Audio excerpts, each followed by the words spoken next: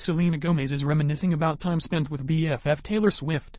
On Monday, the Lose You to Love Me singer posted a series of rare photos with the August singer on Instagram. In the snapshots, the pop stars snuggle with Swift's cat, Benjamin Button. In 2019, Gomez, who has been friends with Swift for more than a decade, revealed how they met during an interview with Kiss FM UK. Gomez said, We actually dated the Jonas Brothers together. It was hysterical. Gomez previously dated Nick Jonas and Swift had a relationship with Joe Jonas. Swift and Gomez are still close friends, and often show encouragement for each other online. When Swift released Lover and Gomez released Lose You to Love Me from her album Rare, both of them promoted the other songs on their Instagram stories. Do you love Taylor and Gomez also? Tell us in comment. For more such videos like and subscribe my channel.